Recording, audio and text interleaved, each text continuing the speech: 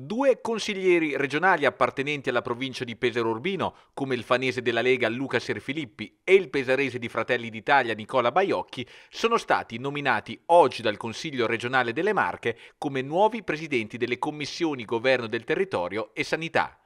Serfilippi succede ad Andrea Maria Antonini, recentemente promosso ad assessore regionale, mentre Baiocchi succede ad Elena Leonardi, che invece è stata eletta in Senato.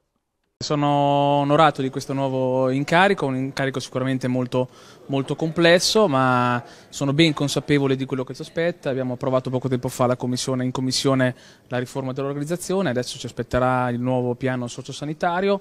Prendo le redini dell'ex presidente, la senatrice Elena Leonardi, sono molto felice anche dei consigli che mi ha dato, ma ancora per scaramanzia chiaramente non avevamo non avevo detto assolutamente nulla, ci aspetta un cammino molto importante, ma sono certo che con la collaborazione di tutti i consiglieri, sia di maggioranza che di minoranza, potremo fare sicuramente un ottimo lavoro. Io penso che il, il comparto medico, il comparto della sanità ha bisogno di essere assolutamente ascoltato, ci sono tante cose da migliorare, da correggere.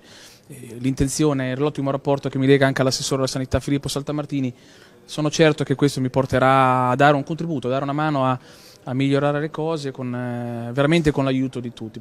Sicuramente è un incarico importante per il quale ringrazio i colleghi della maggioranza e il mio partito che mi ha designato come Presidente. E innanzitutto la nuova legge urbanistica che presto, presto approderà in, in Commissione, la Giunta penso che approverà molto brevemente. Abbiamo importanti sfide come Commissione, appunto dalla legge urbanistica al piano delle infrastrutture, due punti programmatici rallentati dalla pandemia che dovremo immediatamente il prima possibile approvare come Consiglio regionale.